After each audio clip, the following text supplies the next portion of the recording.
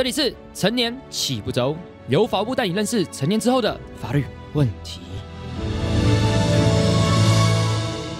等下访问蔡部长，我觉得会很紧张，但我一定会想办法让他笑出来。还是需要更多年轻人做建设。我们民法调降年龄的目的到底是为什么？对，刑事责任是十八岁啊，他就要负完全的刑事责任。那民法要二十岁才成年，这个有点不相符合。民法这个成年年龄调降之后，你觉得对社会立即带来影响是什么？上大学就十八岁以后就可以做很多事，那只是因为很多事情在学校里面根本没有讲。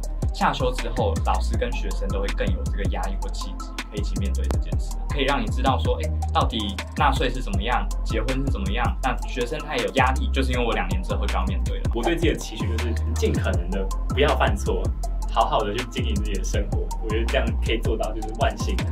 就是不一定要做到什么，但是求努力、谨慎，不要犯错，就是最大的期许。介绍成年，明年的一月要开始改为十八岁，很多年轻人听了这个节目以后会加深印象，也愿意啊为自己的行为负责。